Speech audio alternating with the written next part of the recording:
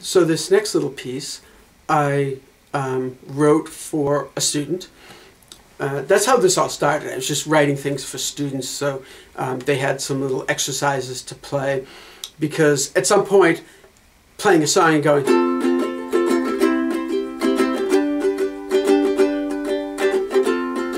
for three minutes, strumming those chords over and over starts to kind of wear a little thin.